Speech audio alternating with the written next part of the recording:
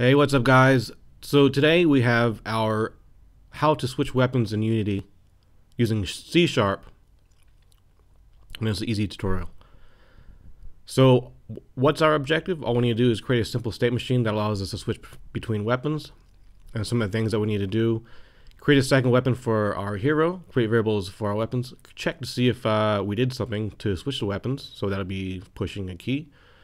Create a function to switch the weapons. Um, what to do if something else happens. Playtest and enjoy. So the first thing we need to do, we have our controller right here. Uh, here's his weapon. It's a sphere ball and a capsule. And um, we'll just make another simple um, 3D object for a placeholder. It could be a gun, or a gun, or another gun, or another gun. In this instance, we'll just use a cube uh, as a placeholder just for the tutorial and uh, his gun will be over here. Just put out so you can see it in the camera a little bit. And uh, you know you can just do it however you want. And then let's go back to our notes real quick. Um, we done create our, our, weapon and we need to create a script now so we can add uh, some code to it and just create a new C sharp script. Never JavaScript and you can call it um, switch weapons or whatever you want. And um, open that up. And we don't need start right now so we can delete that. We will need the update function. And then um, create your game objects. So we have two weapons. So we need a uh, something called game object weapon 01 and uh, there's a couple of things. Because we're going to be adding this in the inspector, we need to make it public, public, and then create game object called weapon 02. And uh, so we can go over here and check in the inspector, take our switch weapons, and we'll put it on our first person controller here, and we'll see it come over here. So we have two places where we need to add a weapon. Sphere ball will be his first weapon, and then cube gun, the second weapon. So that's why you need to make these public. If you'd had nothing there, if you just had game object weapon 01, it would not show up in inspector. So now we need to check if we do something, and we need to put this in the update method because this is running all the time. So it's just gonna be checking if we do something. And we'll just say we want to check if we push a button or input uh, or a key.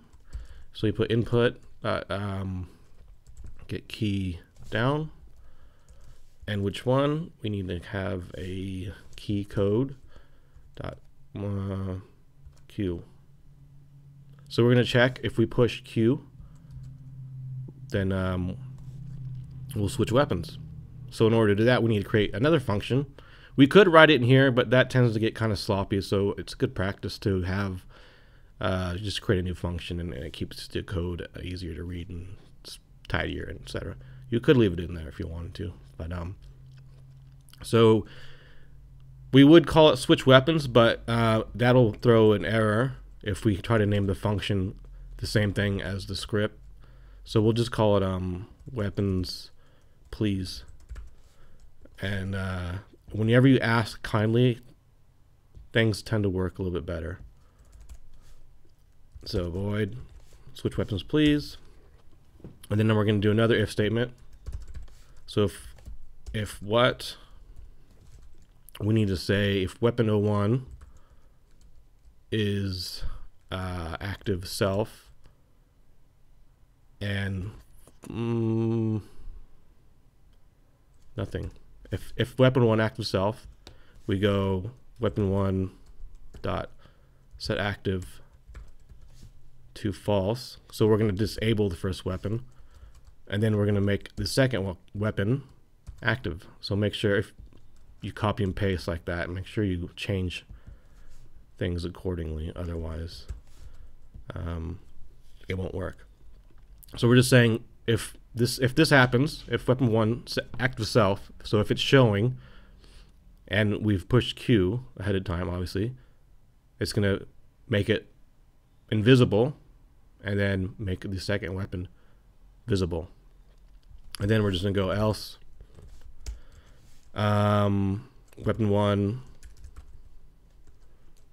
set active is true.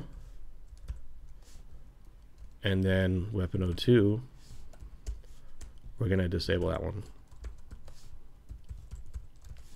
And that should work. So all we're saying, if we push Q, we're gonna disable the first weapon and, excuse me, show the second weapon. And if we do push Q again, then it's the opposite. We're going to disable the second weapon and enable it, the first weapon. Let's go back to Unity, and we got an error. And put get button down, Q.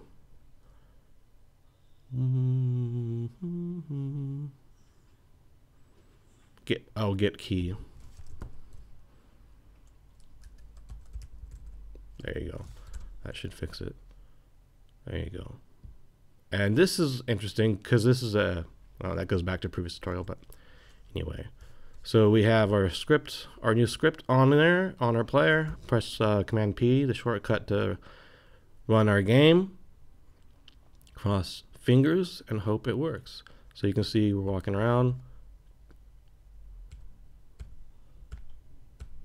So it works, but as you notice, when we first started, both game objects were visible. So let's just look again in case uh, we missed that. So we're looking around, we're playing, but look, the rod and the cube are both visible. So we don't want that. We only want one visible, but the code does work. So to fix that, ironically, uh, we did need to start. Void start. And all we're going to do is when we start the script, we're going to say weapon 02 set active as false. So now, when the script starts, the cube should not be visible. And and it works. So let's try the Q again. Everything works, all good. Take a look around the awesome level and enjoy. That's it, guys. So I hope you um, found that useful, and thanks for watching. If you need help, leave a comment or just want to say something, um, have a nice day, that's cool too. Or whatever you want. Anyways, uh, I'll talk to you later. See ya.